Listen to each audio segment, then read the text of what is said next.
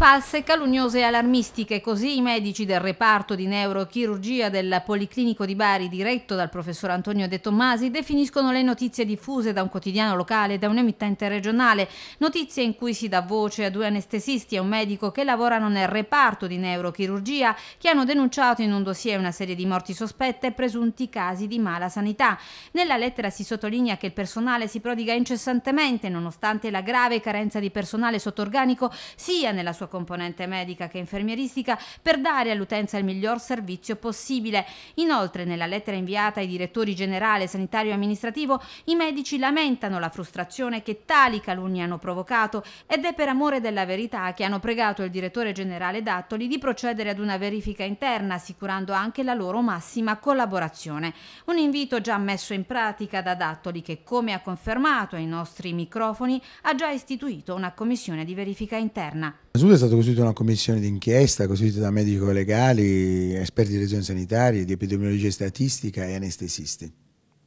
che ha 15 giorni di tempo per giungere alle conclusioni. Circa l'analisi dei casi specifici citati eh, in questa lettera, che non abbiamo ancora avuto modo di, di leggere perché allo Stato non è, stata, eh, non è pervenuta né in direzione generale né in direzione sanitaria né ai sindacati, perché sembrava che fosse una nota giù dei sindacati, ma non è una nota dei sindacati, pare che eh,